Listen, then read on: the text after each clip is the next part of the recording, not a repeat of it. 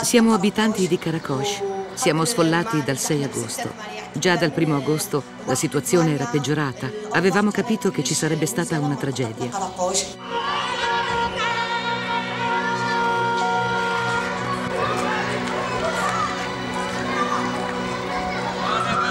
Siamo arrivati in agosto, al 15 di agosto del 2014 per fare una valutazione della situazione e abbiamo eh, assunto subito il, il, senso della gravità del, dei problemi.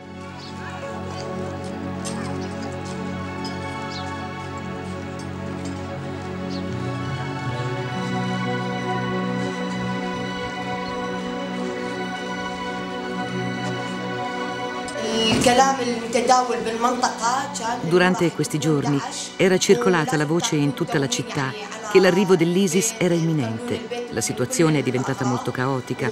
Tutti hanno iniziato a raccogliere quello che avevano e a prepararsi alla fuga.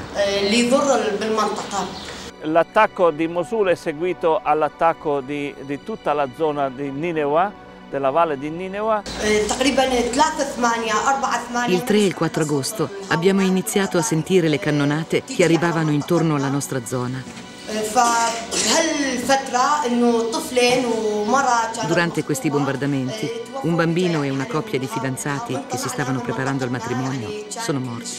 Quindi la gente ha iniziato a scappare. Per strada c'era un caos totale, gente che andava e veniva, Molti scappavano anche a piedi pur di riuscire a raggiungere Erbil o un posto più sicuro. La città di, di Erbil è stata riempita di profughi. E noi siamo arrivati in quel periodo in cui ogni giardino era pieno di tende, tutte le scuole erano state occupate da questi profughi arrivati di corsa di notte, la situazione nelle chiese dormivano gli sfollati sui banchi delle chiese. La situazione era veramente eh, angosciante. La notte del 6 agosto, io e la mia famiglia siamo usciti da Karakosh quasi a mani nude. Siamo riusciti a portare con noi solo quello che si poteva portare a mano, quindi abbiamo lasciato là quasi tutto.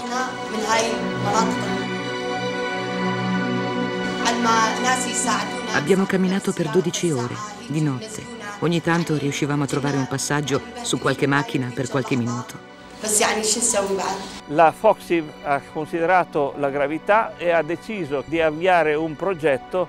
A questa decisione ha seguito l'affiancamento del eh, quotidiano Avvenire, il quotidiano dei Vescovi e siamo tornati a settembre con eh, il, la presenza anche di un giornalista il quale ha cominciato a documentare la situazione che era a suo punto gravissima.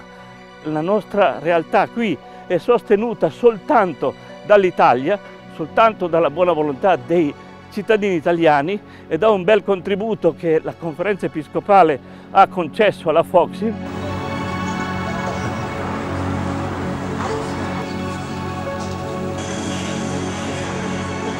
In Kurdistan trovato soprattutto delle donne e degli uomini che hanno voglia di vivere. Purtroppo questa loro voglia di vivere eh, è stata frustrata ed è stata purtroppo messa a dura prova e viene messa a dura prova da tutto quello che sta succedendo e di cui noi abbiamo tristemente notizia. Per fortuna eh, c'è questa possibilità, questo impegno da parte di tutti di riuscire ad arginare questa difficoltà. Certo non possiamo considerare questa una soluzione definitiva, dobbiamo tutti quanti lavorare soprattutto coloro i quali hanno delle responsabilità devono mettercela tutta per poter dare a queste persone una speranza che vada oltre i campi, una speranza che vada oltre queste realtà per poter permettere alle famiglie, ai ragazzi, ai bambini, abbiamo visto adesso, di, poter, di progettare il loro futuro in maniera più dignitosa, in maniera umanamente dignitosa.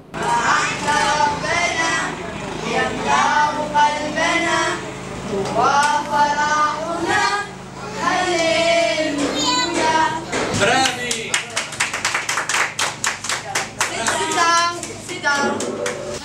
Grazie a Dio siamo riusciti ad arrivare ad Ankawa.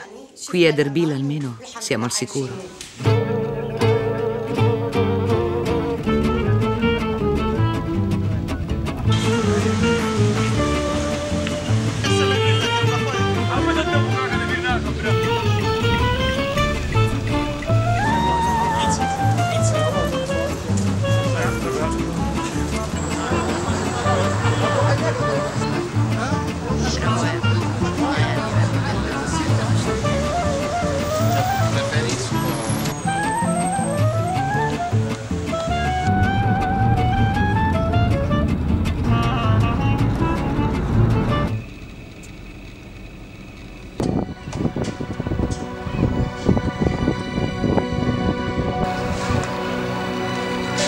Siamo nel campo Ankawa 2, che è l'ultimo nato, è un campo direi di extra lusso rispetto a quegli altri.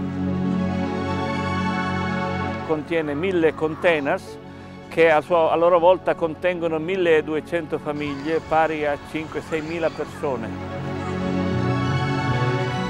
Il lavoro cominciato è andato avanti e abbiamo continuato così ad espandere una nostra presenza.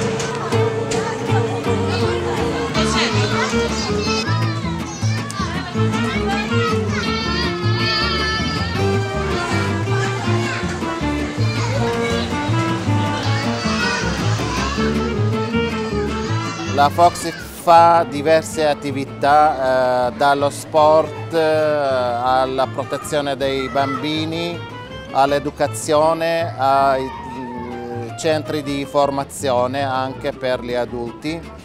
Dove ci troviamo attualmente è un asilo nido per i bambini nati nel 2010, quindi hanno, eh, chi ha eh, solo 5 anni come preparazione per il prossimo anno che comincia la scuola elementare. Questa scuola è chiamata Centro di Speranza.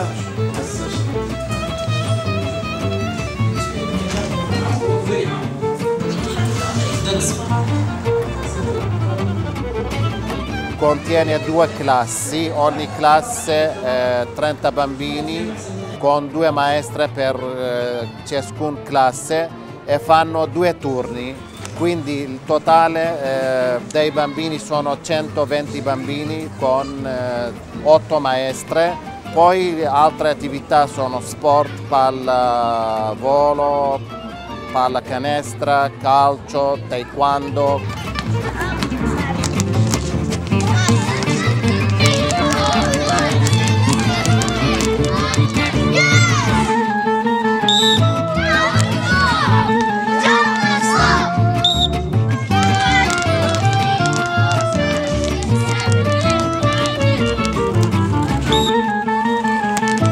Siamo riusciti a costruire questa pista in cemento di pallavolo e pallacanestro dove eh, il trainer, l'allenatore fa giocare i ragazzi per certe ore e le ragazze per certe altre ore e altre giornate. Le ragazze sono le persone che eh, sono le più dire, condizionate anche da una cultura che qui è molto forte ancora, che fa sì che la famiglia tenga molto stretta la, la, la sicurezza delle ragazze, eh, naturalmente adottando il sistema primordiale di chiudendole in casa o in certi casi forzandole ad un matrimonio in età giovanile, 15-16 anni. L'attività di arte marziale è soprattutto un'attività che rende il bambino cosciente dell'ordine delle cose. Deve per esempio fare un inchino, mentre in ogni condizione che si vede intorno qui i ragazzi vedendosi non si salutano ma si, ma si, ma si manipolano, eh, c'è un aumento dell'aggressività.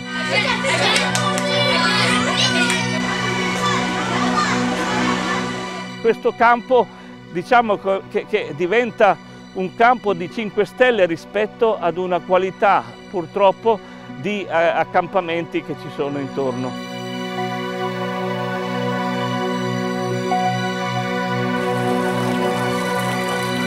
Está muriendo ahora.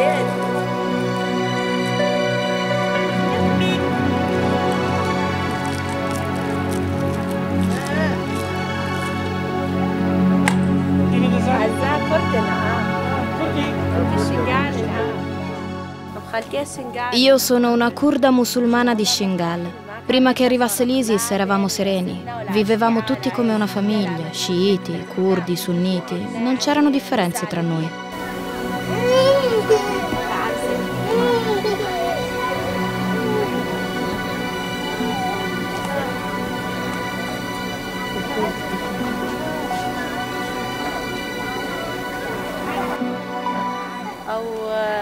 Il 6 agosto 2014 avevamo appena finito di pranzare, quando improvvisamente è arrivato l'ISIS.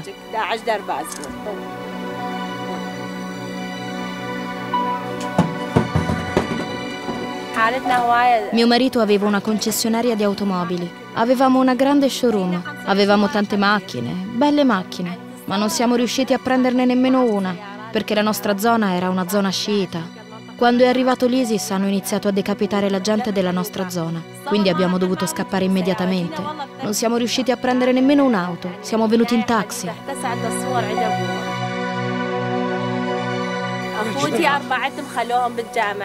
L'ISIS ha preso quattro dei miei fratelli, alcuni con le mogli, e li hanno rinchiusi in una moschea. Poi improvvisamente è arrivato un missile sulla moschea. Ci sono stati morti e feriti, ma loro per fortuna si sono salvati.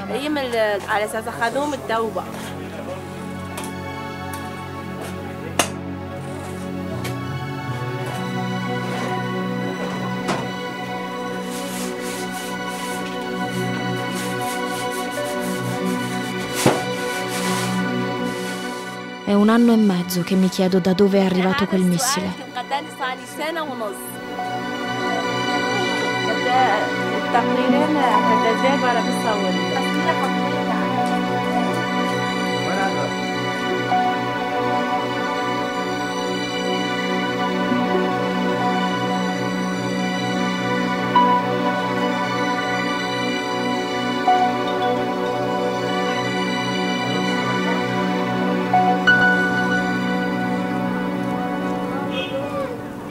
Tutti qui stanno ancora aspettando che Mosul venga liberata.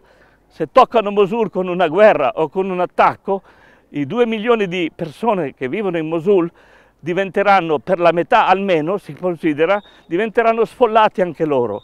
E allora sarà un altro problema grave da risolvere in più. Come farà la comunità mondiale a risolvere questo problema? Non si sa, la misericordia di Dio è ancora quella che noi speriamo che funzioni. Io ho sempre pensato che la provvidenza è quella che ci ha permesso di aprire questo, questo, questo nostro asilo e continua a sostenerci.